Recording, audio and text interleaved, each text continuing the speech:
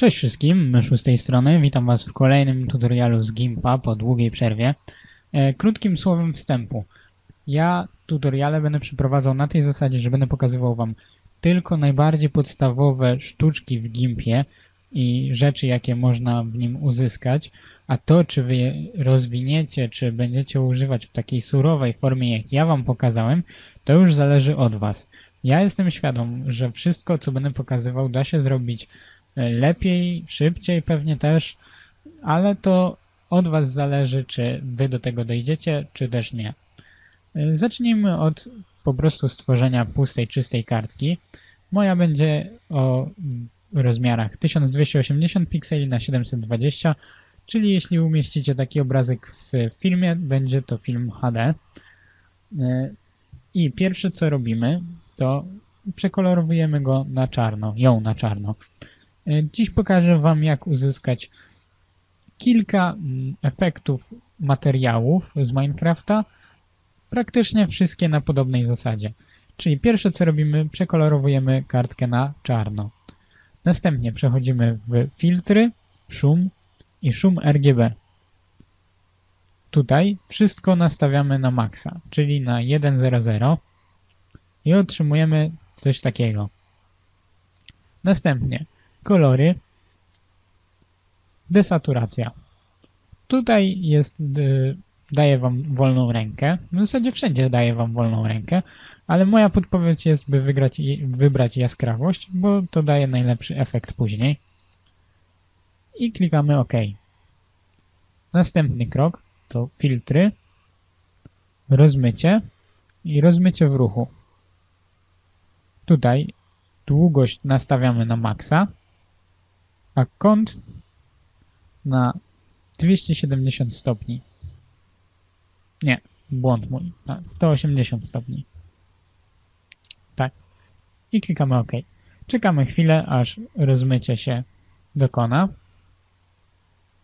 Oczywiście, jak zwykle podczas nagrywania trwa to nieco dłużej, ale zaręczam, że w samym, w samym edytorze przejdzie Wam to dużo szybciej mamy wykonane.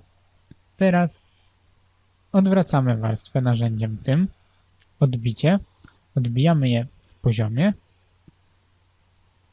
i powtarzamy rozmycie w ruchu, aby pozbyć się tego paska takiego wzmocnienia szumu.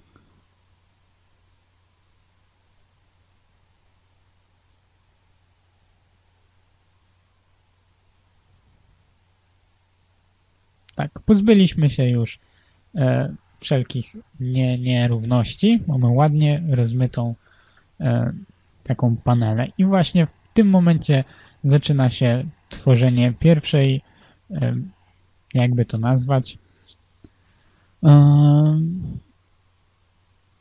nie wiem, pierwszego sprite'a, jak, jak chcecie nazywajcie to, pierwszej tekstury. Tutaj nazewnictwo jest dowolne. Więc wybieramy jeszcze raz. Wybieramy kolory i filtry.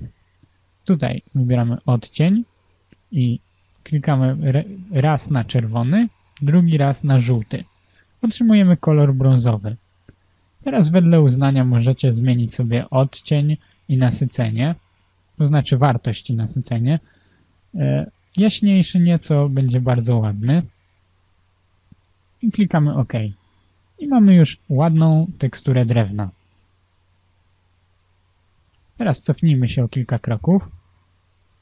No, w zasadzie o jeden. I możemy także jeszcze uwydatnić nieco wgłębienia w naszej teksturze, stosując wyostrzenie. Myślę, że tak z 60-80 powinno zarysować nam ładne takie nierówności. Tak to wygląda w rozmiarze 1 do 1. Możecie też powtórzyć kilkakrotnie, jeśli zależy Wam na takich ostrych wcięciach. W pewnym momencie zrobi się coś takiego, co już ładne bynajmniej nie jest. Zostawmy sobie to tak. I teraz możemy też oprócz drewna zmienić samą wartość na... Przepraszam. Musimy jednak cofnąć się do pierwotnego kształtu.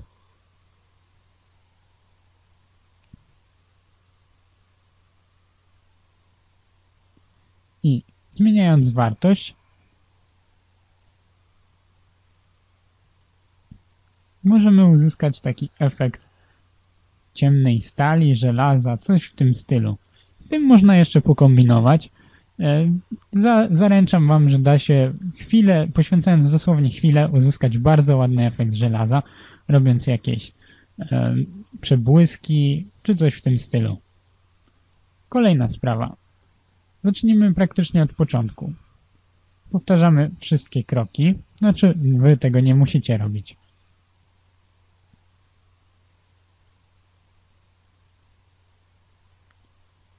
Desaturacja, jaskrawość. I teraz, stosując rozmycie Gaussa, powiedzmy, że 15, nawet za dużo. 10 powinno wystarczyć w zupełności. Nawet mniej, nawet 8. O, myślę, że 8 będzie idealne. Dostajemy coś takiego. I teraz, kolorując to na odcień, przepraszam, zresetujmy najpierw, odcień brązowy, nieco, nie, nasycenia niech będzie, nieco ciemniejszy, możemy uzyskać taką teksturę ziemi. Wygląda to całkiem jak taki typowy dirt. E, I to wszystko w zasadzie na dziś. Tak jak mówiłem, są to totalne podstawy. Ja do tego dodaję jeszcze masę efektów, ale czy wy wykorzystacie to, tak jak powiedziałem, w takiej suchej wersji, czy też e, wklepiecie w to trochę swojej inwencji, to już jest e, wasza broszka. Ja ze swojej strony dziękuję. Zapraszam Was do komentowania, oceniania, subskrybowania, wizytowania Facebooka, Twittera, blogera, Google+, Planet Minecraft, e, a także jeśli chcecie kupowania mojej płyty na Allegro, która dostępna jest jeszcze przez 5 dni bodajże. E, I jeśli tylko macie swoje pomysły, które chcecie dodać do tego, co ja Wam tu pokazałem, czujcie się e, śmiało, możecie dodawać odpowiedzi wideo do tego filmu, jeśli tylko coś usprawnicie. Ja każdy, każdą taką odpowiedź przejrzę.